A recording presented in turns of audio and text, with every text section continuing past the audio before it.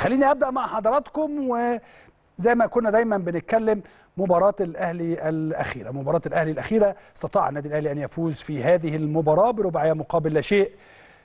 زي ما دايما بقول قطار الأهلي يسير بخطوات سريعة ورائعة.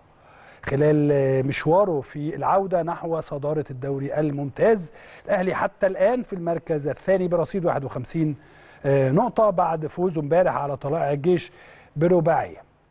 لسه متبقي لينا أربع مباريات مؤجلة.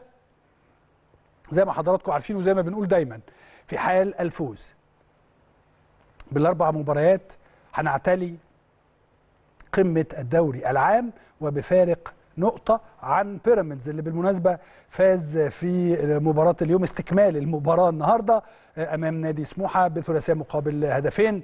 انتهى انتهى الجزء الأول من المباراة اللي كان من يومين واحد واحد ثم النهاردة استكملت المباراة من الدقيقة 49 ونادي بيراميدز أحرز الهدف الثاني والثالث وحسام حسن أو فادي فريد أنا آسف بيحرز هدف المباراة الثاني لتنتهي المباراة بمشاكلها بحلوها بمرها باليوم اللي فات باليوم اللي جاي بكل الهيصة دي بتنتهي هذه المباراة. بفوز نادي بيراميدز وحصوله على ثلاثة نقاط. النهارده الصدارة دلوقتي 65 نقطة لصالح نادي بيراميدز. بعد ما خاض 26 مباراة بينما النادي الأهلي لعب 21 مباراة فقط. طبعا 26 مباراة بعد مباراة 26 ولا 25 يا شباب؟ شوفوا بيراميدز قد إيه وقولوا لي.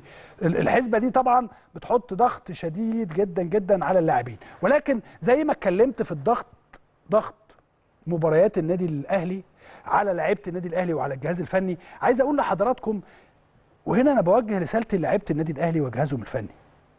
زي ما إحنا مضغوطين.